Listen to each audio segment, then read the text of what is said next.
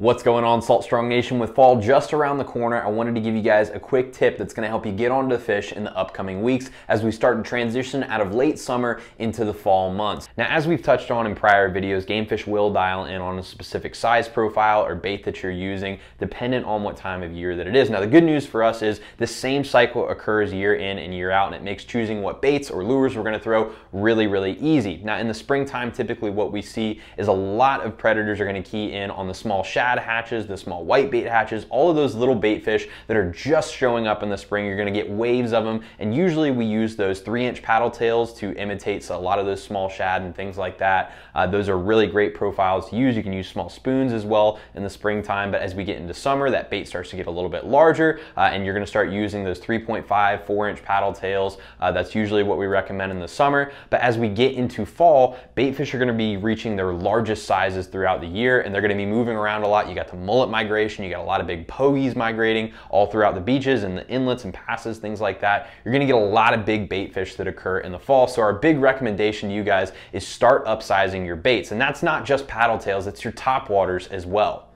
I've been starting to move away from the smaller Super Spook Junior size top waters and I've been using some larger things such as Rapala skitterwalks and those have been working really well for me near the inlets where we're starting to see a lot of big bait fish showing up.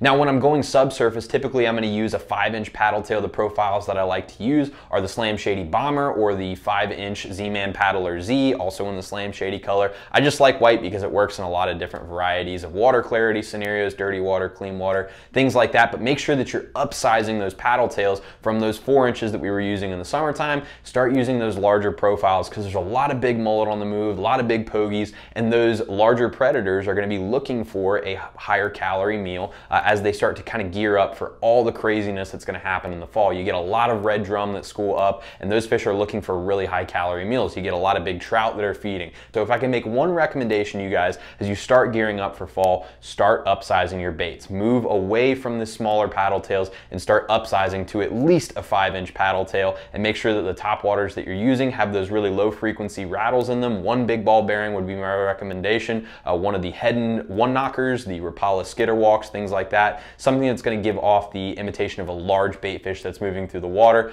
The fatter the body, the better. Again, I'm gonna recommend the Rapala Skitterwalk over the One Knocker just because it's got a little bit fatter of a body, a little bit lower frequency of a rattle. And if you guys wanna pick up any of the baits that I've mentioned today, we do have them all in the Fish Strong Tackle Shop at 20% off for Salt Strong Insiders. But regardless of what you use, just remember to upsize your baits and that's gonna help you get onto a lot more fish. So thank you guys again so much for watching. And if you wanna see more awesome fishing tips, I highly recommend you join us at Fish Strong saltstrong.com.